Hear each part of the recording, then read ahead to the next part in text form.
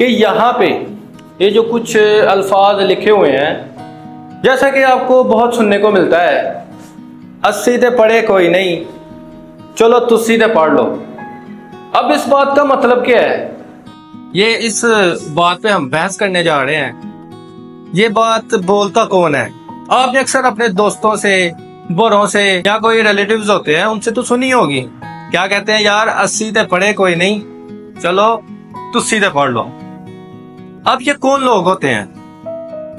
क्योंकि मैं as a teacher आपको ये सारी चीज़ें बताना चाह रहा हूँ कि अस्सी ते पढ़े कोई नहीं। चलो तुस्सी ते पढ़ लो।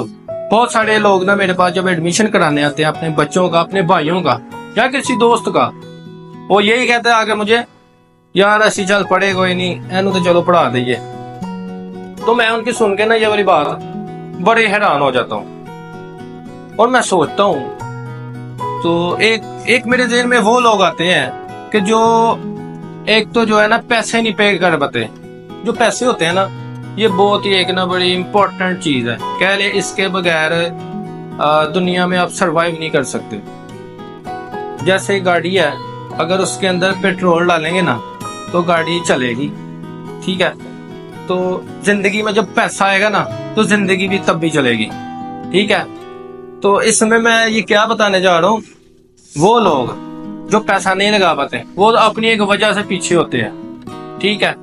और जो दूसरे लोग होते हैं, जिनके पास पैसा भी होता है, मेरे पास ऐसे स्टूडेंट्स आते हैं कि वो पैसे भी दे जाते हैं, लेकिन यहाँ पे बैठ के वो अपना टाइम जो है वेस्ट कर जाते हैं।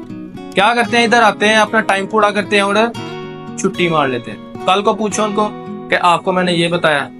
ओ सर, मैंने ये चीज़ देखी नहीं, मैंने इसकी प्रैक्टिस नहीं की। बड़ी एक हैरानगी वाली बात है।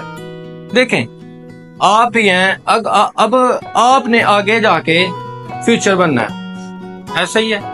अगर आप भी यही चीज़ को फॉलो करेंगे ना, कि आए हैं, बैठे हैं लेक्चर लिया और चले गए हैं। यानी कि आपको आया कुछ नहीं, आप अपने क्वेश्चन रेज करें। पूछे हमसे, क्या मैं ये चीज़ नहीं आती? अगर आप भी ऐसा करेंगे, आए, बैठ के चले गए हैं तो फिर कल को आपने क्या कहना है? क्या कहना है? अस्सी तो पढ़े, कोई नहीं। चलो तुस्सी तो पढ़ लो। अपने बच्चों को हमने यही बोलना है। तो फिर आपके जो बच्चे होंगे ना, वो भी पीछे रह जाएँगे। अगर आपके बच्चों को आप जैसे, अगर आप पढ़े लिखे हैं, अच्छे पढ़ के एक बिजनेसमैन बन जाते हैं या कोई भी ऐसा काम करते हैं कि आपको बड़ा एक फनी नॉलेज आ जाता है। फनी वो इमोजी हंसने वाला नहीं है। फनी किसी इल्म को कहते हैं फन कहते हैं उसको। फन आएगा तो कल को आपको बड़ी आसानी होगी। आप अपने बच्चों को दिखा सकेंगे।